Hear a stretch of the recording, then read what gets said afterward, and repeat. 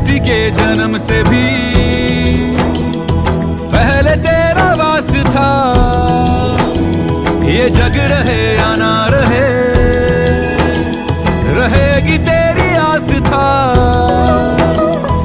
क्या समय, क्या प्रलय, दोनों में तेरी महानता महानता महानता।